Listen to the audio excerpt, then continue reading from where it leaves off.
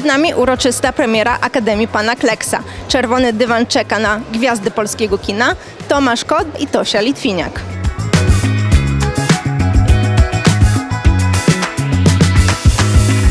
Nie będę ukrywał, że to, było jakaś, że to był łatwy spacerek i, i człowiek w sercu nosi du, dużo napięć, bo, e, bo ja, ja naprawdę miałem kilka lat, jak była premiera mm, Akademii Pana Kleksa z fantastyczną rolą Piotra Franceskiego i byłem jednym z tych e, dzieci, uczestników smutnej rzeczywistości tej, tej komunistycznej Polski, gdzie, gdzie ten film e, no, był taką eksplozją radości, fantazji, wyobraźni i, to był bohater mojego dzieciństwa, więc kiedy po 40 nagle dostaję propozycję, to oczywiście, że czułem wielką presję. Z drugiej strony to jest taka presja, na którą też się czeka, bo po zimnej wojnie już był tak, tak spokojnie się zrobiło. Nie? Tak, a, a tu nagle mnie za- zaczepiają ludzie na ulicach, mówią nie spieprzcie tego, to jest film mojego życia i, i tak dalej. Ja mówię, oczywiście będę się starał.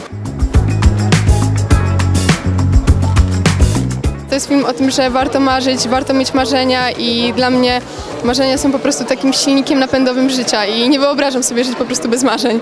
Gdyby nie marzenia i wyobraźnia, to by tutaj nas nie było. To jest głos młodego pokolenia, film dla młodego pokolenia, film o młodym pokoleniu i de facto opowiedziany przez młode pokolenie. Ja też jestem jeszcze młody.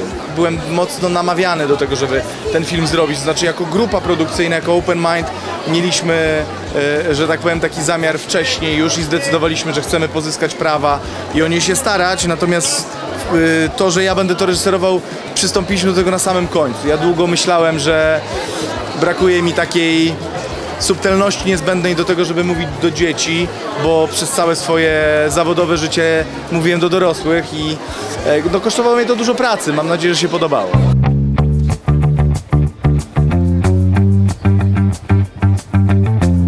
To jest olbrzymia promocja miasta przede wszystkim i, i zawsze to będę podkreślał, ale to też pokazuje, jak wielką metamorfozę przeszliśmy jako miasto, e, pokazując zupełnie inne Katowice, zupełnie inny klimat w Katowicach, który panuje niż ten, który był choćby nawet 40 lat temu przy pierwszej premierze pana Kleksa, e, która miała miejsce w 1984 roku. Tak więc ja się bardzo cieszę z tego, że mm, Katowice stają się po prostu miastem światowym e, i wszystko co dobre dzieje się, dzieje się również w Katowicach.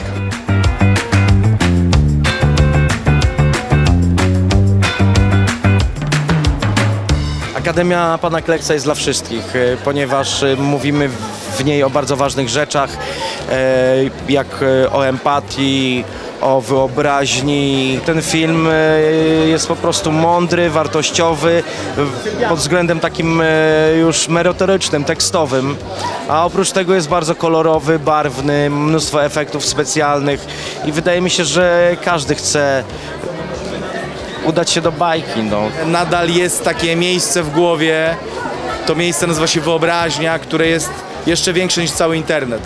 Że warto tam sięgać, że warto tam zaglądać, że warto podążać własną drogą, a nie iść uklepaną ścieżką i po śladach swoich własnych rodziców.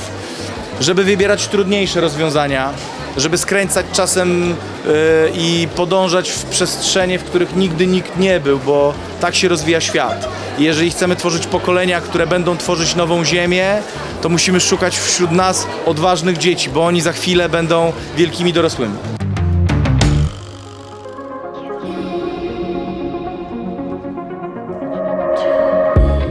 Postawiłem na taką swoją jakąś indywidualną relację, którą, o którą za- zazwyczaj staram się z młodymi ludźmi, bo po prostu uwielbiam ich wyobraźnię, uwielbiam jakby tak na poważnie bardzo rozmawiać. Wykreowałem całą masę jakichś takich e, konfliktów e, planowych, e, typu na przykład byłem oburzony, że jestem tylko numerem dwa w tej obsadzie, co to ma znaczyć. Ja ogólnie mam scenariusz numer jeden, on ma numer dwa. No i on mówił na przykład do Maćka, do reżysera, że po jakiej szkole jest ta dziewczyna, czemu ona ma numer jeden, czemu ja mam numer dwa. No i tak jakoś się e, przyjęło w ekipie, w obsadzie i, i ciągniemy, ciągniemy ten żart do dzisiaj.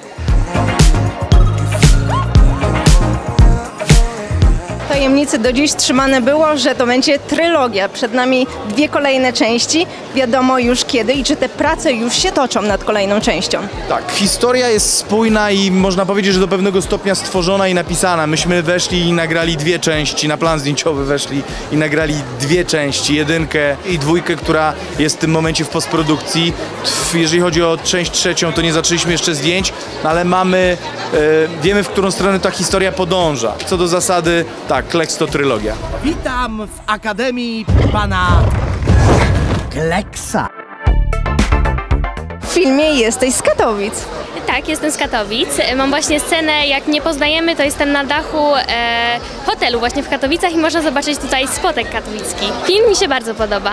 E, też nie wiedziałam do końca czego się spodziewać. To jest mój drugi raz, jak e, oglądałam ten film i myślę, że za drugim razem tak naprawdę mi się bardziej e, podobało, bo mogłam się skupić też na całym filmie, bo muszę przyznać, że za pierwszym razem bardziej patrzyłam na siebie, żeby zobaczyć jak mi to wyszło. W kolejnych częściach również wrócimy tutaj. Niech to pozostanie tajemnicą.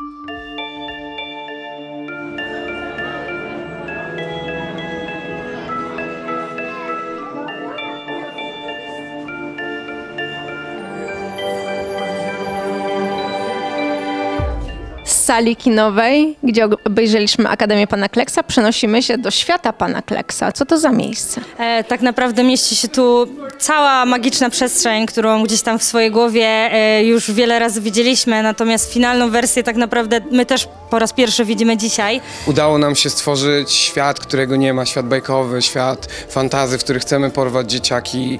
Chcemy przemycić tam pewne wartości, że, że, że to znowu jest ten kleks z misją, to znowu jest ten kleks, który, który otwiera głowę i, na, i nalewa do nich oleju.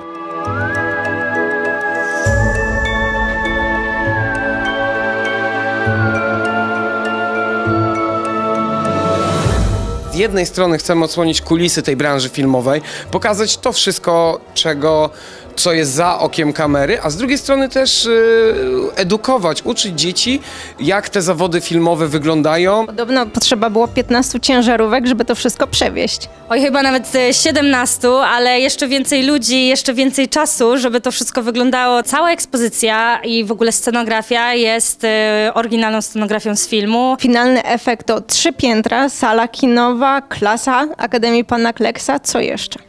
Tak, tutaj na przestrzeni e, nie tylko można właśnie podziwiać tą scenografię, którą już tak bardzo wychwaliłam, ale też troszkę nauczyć się, jak powstaje film, albo samemu wziąć udział w takich warsztatach. Mamy przygotowane kilka scenariuszów takich warsztatów w specjalnie odwzorowanej sali wykładowej, prosto z filmu, gdzie dzieciaki oraz dorośli nauczą się troszkę tego, jak bardzo łatwo za pomocą zwykłej kartki i otwartej głowy można stworzyć coś, co potem posłuży jako źródło do wielkiego dzieła.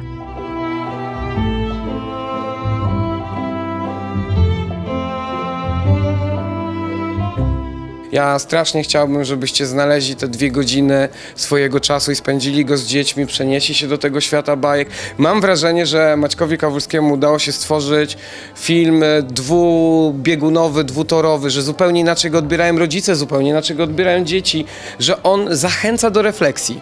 Zachęca do refleksji, co że pewne wartości nie są w życiu ważne, a z drugiej strony pewne jak rodzina, jak wspólne spędzanie czasu, jak, jak empatia, jak, e, jak e, rozumienie innego człowieka jest szalenie ważne i, i, i myślę, że takie dwie godziny refleksji, takie dwie godziny za, zatrzymania każdemu z nas dobrze zrobi.